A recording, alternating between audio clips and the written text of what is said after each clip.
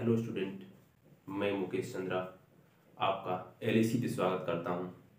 नया साल के इस पावन अवसर पे हम लोग अपने इस चैनल का शुभारंभ कर रहे हैं और हम लोग पॉलिटेक्निक का थर्ड सेमेस्टर का मैं मेज़रमेंट आपको पढ़ाऊँगा और एग्ज़ाम को मध्य नज़र रखते हुए हम लोग ये आपका क्रैश कोर्स के हिसाब से आपको ये हम लोग कोर्स कंप्लीट कराएँगे।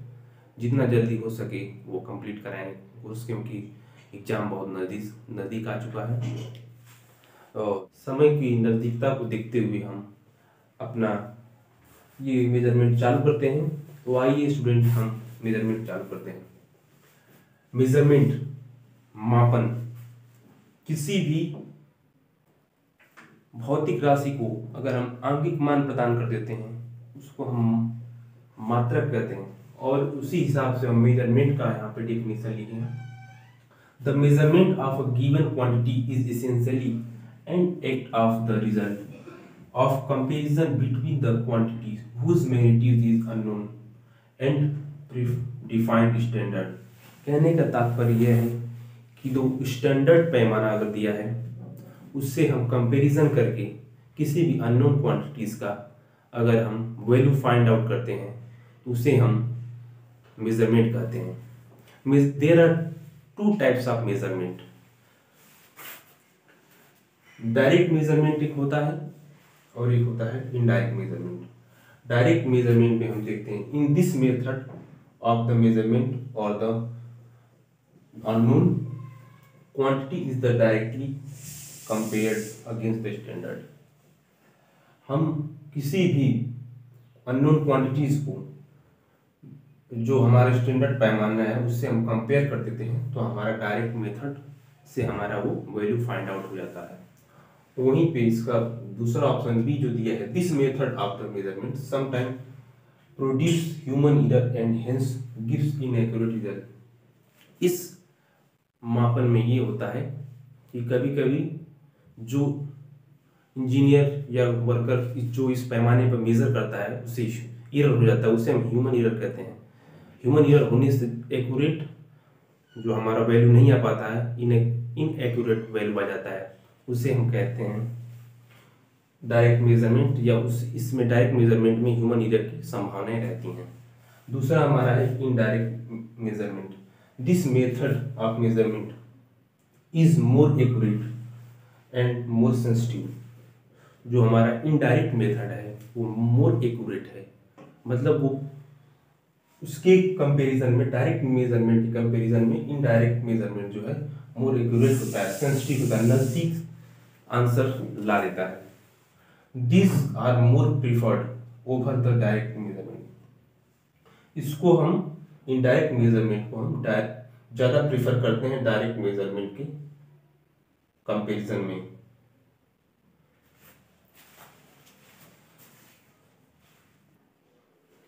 आपको अभी मैं बताया हूँ ईरर के बारे में पिछले अभी बताया हूँ। तो ईरर जो है, यहाँ पे तीन प्रकार के होते हैं।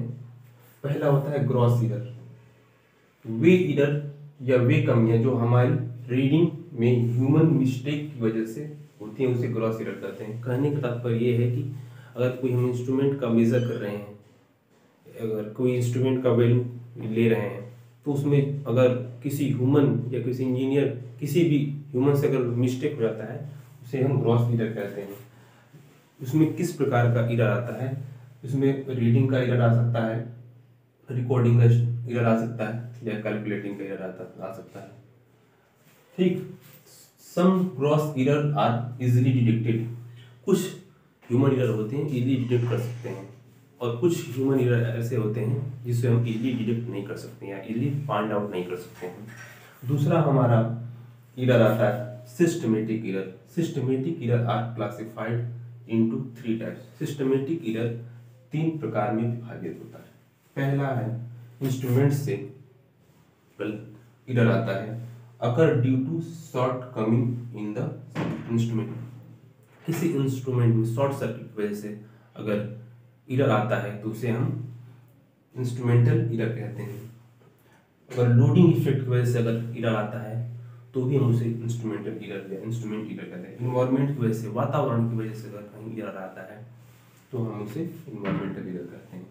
दिस ईरर अगर due to external environmental factor कहने का मतलब ये है, इस इंस्ट्रूमेंट में एक्सटर्नल इन्वायरमेंटल फैक्टर जैसे कि डस्ट हो गया ह्यूमिडिटी हो गया, आंधी, तूफ़ान इस इस प्रकार के एक्सटर्नल जो इन्वायरमेंटल से रिलेटेड अगर ईयर होता है तो उसे हम इन्वायरमेंटल ईयर कहते हैं। और तीसरा इसमें हमारा है सिस्टमेटिक ईयर में observation error defect defect experiment में produce different result when sound and light measure is involved कहने का मतलब ये है कि किसी ईरर में, यानी मतलब किसी मेज़रमेंट में अगर साउंड और लाइट अतिरिक्त बाहर से कहीं आ जाता है ऑब्ज़र्व कर लेता है तो उस उसका जो अगर ईरर होता है, उसे हम लोग ऑब्जर्वेशन ईरर कहते हैं। तो यहाँ तक हमारी बात अगर समझ में आई हो तो आप इसे नोट कर सकते हैं।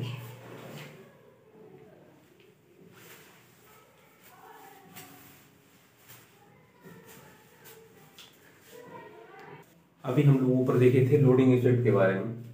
तो आइए देखते हैं लोडिंग इफ़ेक्ट क्या होता है।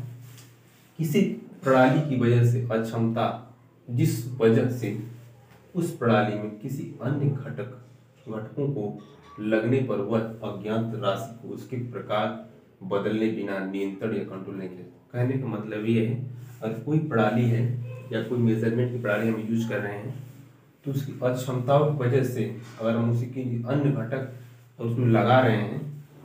अज्ञात राशि जो हमारा प्राप्त होता है, अगर उसको हम बदले बिना उस लोड को या उस इफ़ेक्ट को नियंत्रण नहीं कर सकते हैं तो उसे हम लोडिंग इफ़ेक्ट कहते हैं। अगर मैं जहाँ तक हो सके वहाँ हिंदी का यूज़ कर रहा हूँ। अगर, क्योंकि डिप्लोमा में ज़्यादातर लोग हिंदी माध्यम से होते हैं, इसी वजह से हिंदी का ही यूज़ ज़्यादातर रहेगा। लोडिंग इफ़ेक्ट आप लोग समझे हैं अभी। जो कि ऊपर दिया था, उसको हम समझाएँ यहाँ पे। अब हमारा जो तीसरा ईयर है हमारा, और last error random error random से क्या तात्पर्य है? रैंडम से ये तात्पर्य है, ऊपर दिए हुए जितने भी ईयर हैं, उसमें से एक एक करके कोई भी, या एक साथ कोई भी ईयर आ सकते हैं, उसे हम रैंडम ईयर कहते हैं। या इसे हम इस प्रकार भी देख सकते हैं। रैंडम ईयर आर दूस cross the process of cannot be established because the random variation is present. कहने मतलब यहाँ ये है रैंडम मिरर जितने भी उपरोक्त हमने पढ़ाए हैं, उसमें से कोई एक साथ हो सकता है या कोई बारी बारी से भी हो सकता है, उसे हम रैंडम मिरर कहते हैं। ये आप लोगों का मेज़रमेंट का पूरा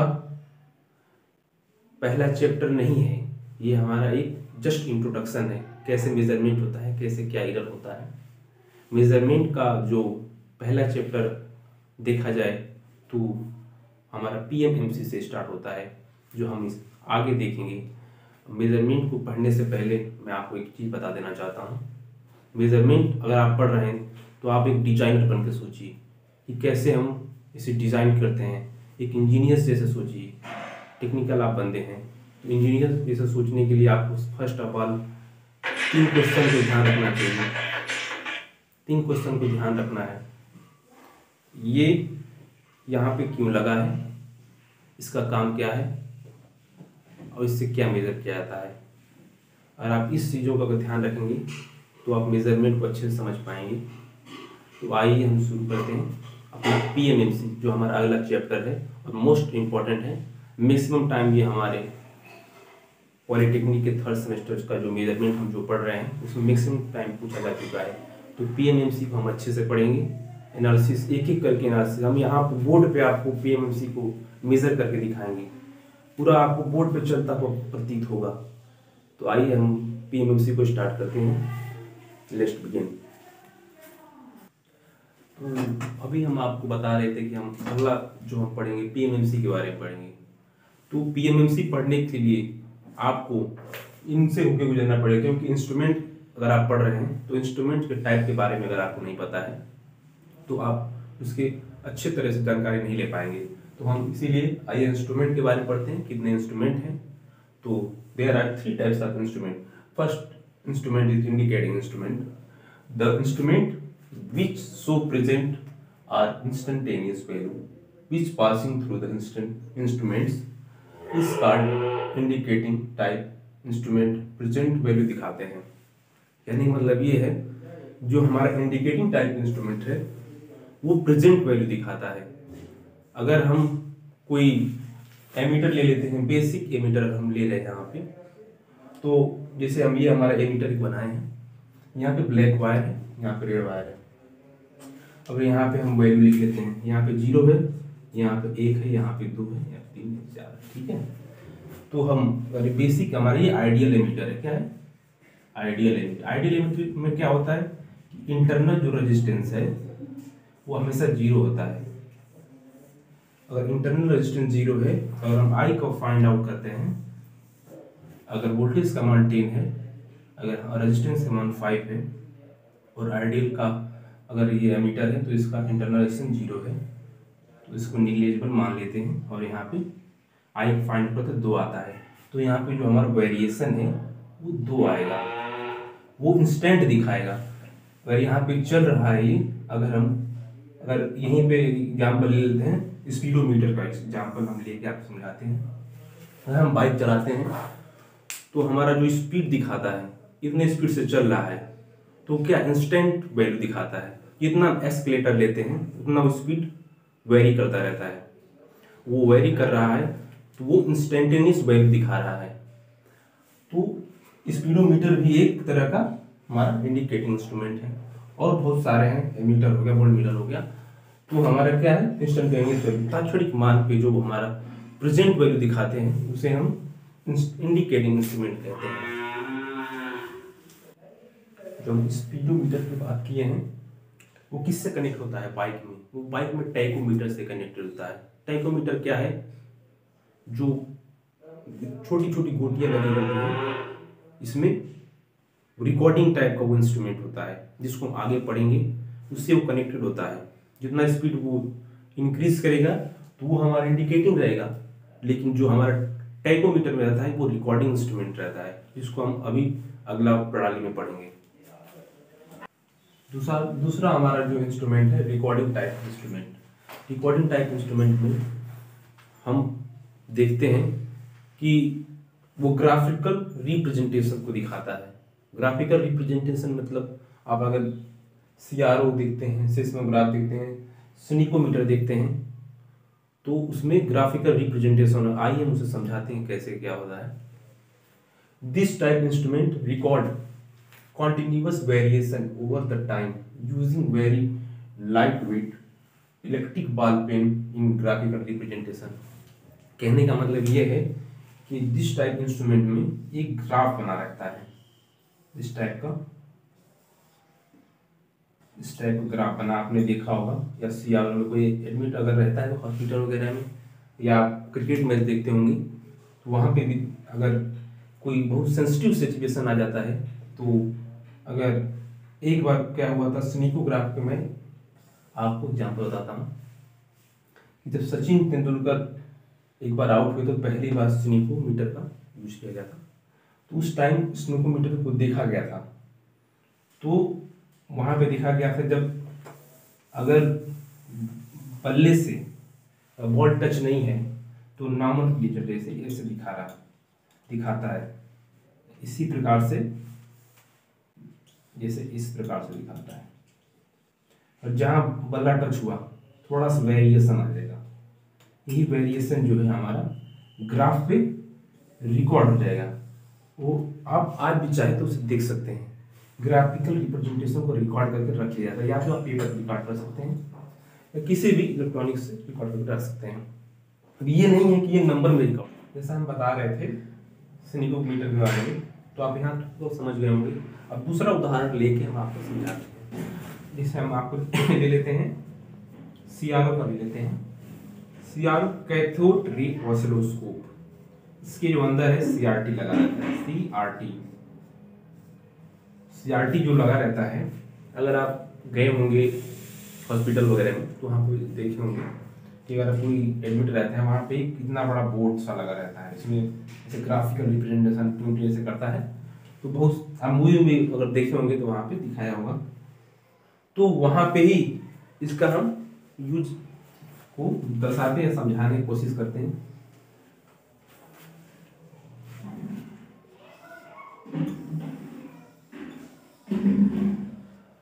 उसमें सीआरटी में जो इलेक्ट्रॉन गन लगी रहती है, उसमें हम बम्बार्डिंग करते हैं इलेक्ट्रॉन्स की।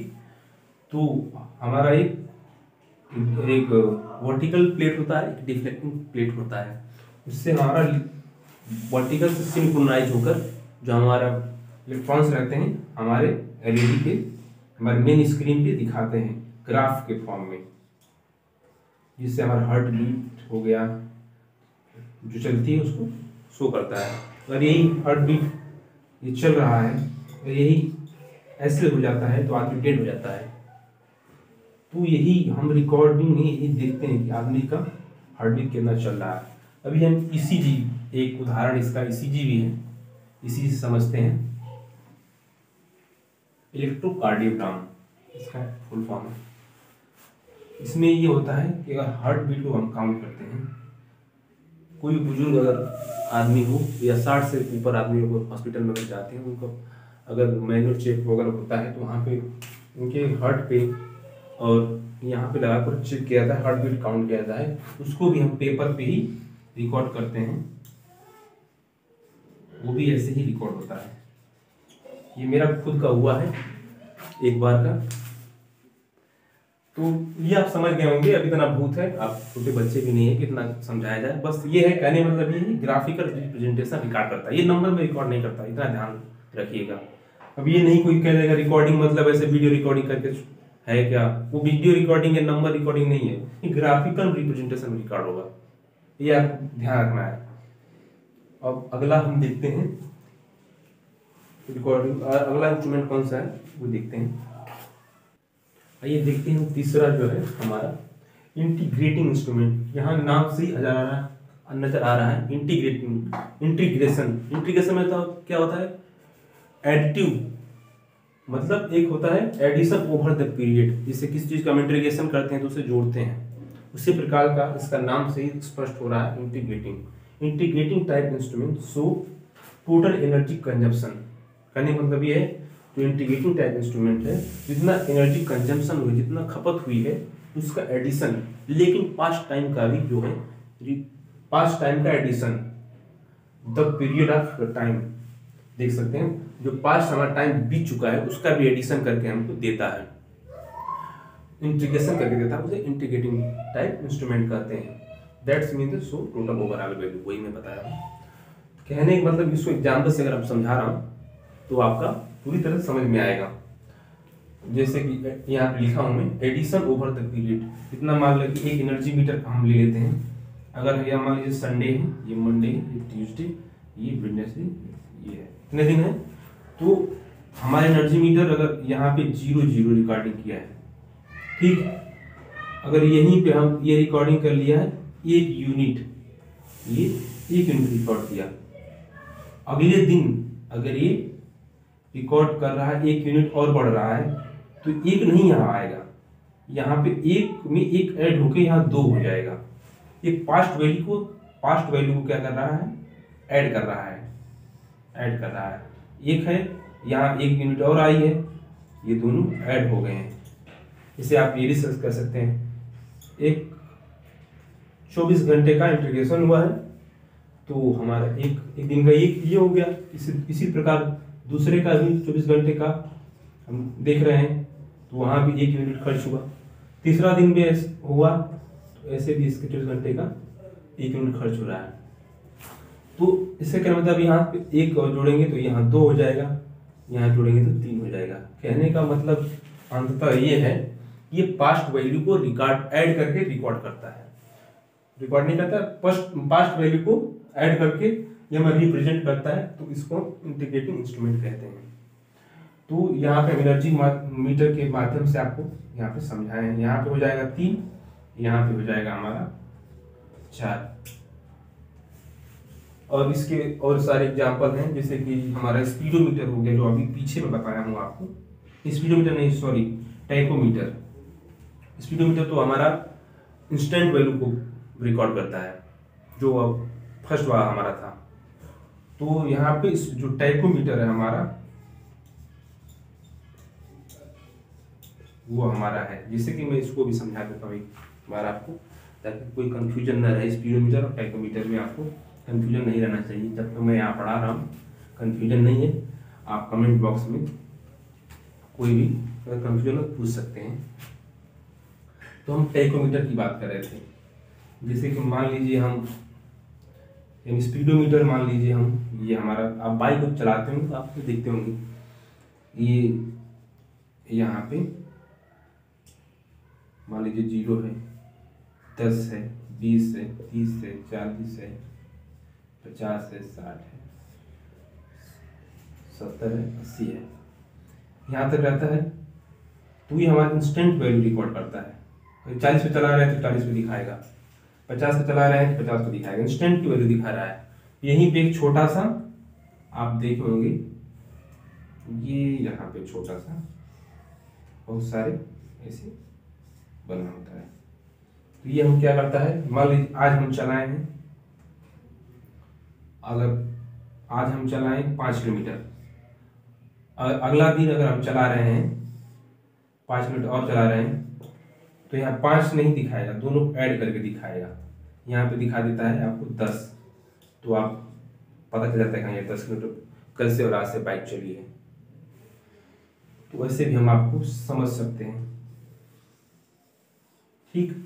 अगर अगर आप समझ में आ गया हो तो आप लिख सकते हैं